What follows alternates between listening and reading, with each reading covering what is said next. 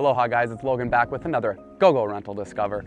Today, we're gonna cover the Kawainui Marsh Trail. I'm standing in the parking lot right now. When you arrive here, parking is a little full. We're here on a Friday. This is kind of a local spot for anyone that's living in Kailua or Kaneohe.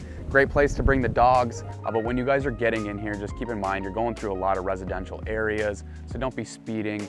We're gonna get out of the parking lot, we're gonna exit in this direction, and then hop on the trail. Let's talk a little bit about the trail itself.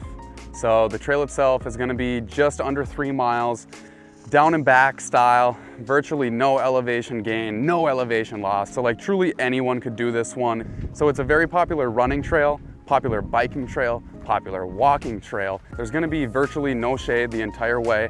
It's not like a hike in the, in the sense of like a true adventure, like I'm gonna scale a mountain, I'm going hiking. Nah, it's more of like just a little walking path through the marsh the trail is just under three miles down and back, so you're gonna go all the way down until you hit a dead end. And that's when it's time to turn around and head right back. Don't get lost.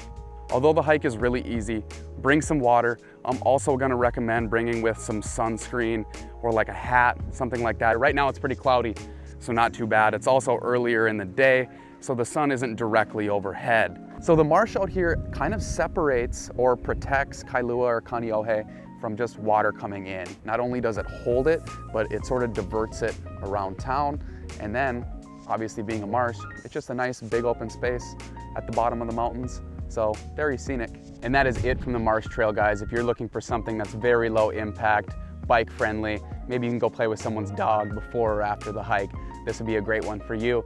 My name's Logan. This is GoGo Rental with another GoGo Rental Discover. Until next time, aloha. I stand corrected on the bathroom situation.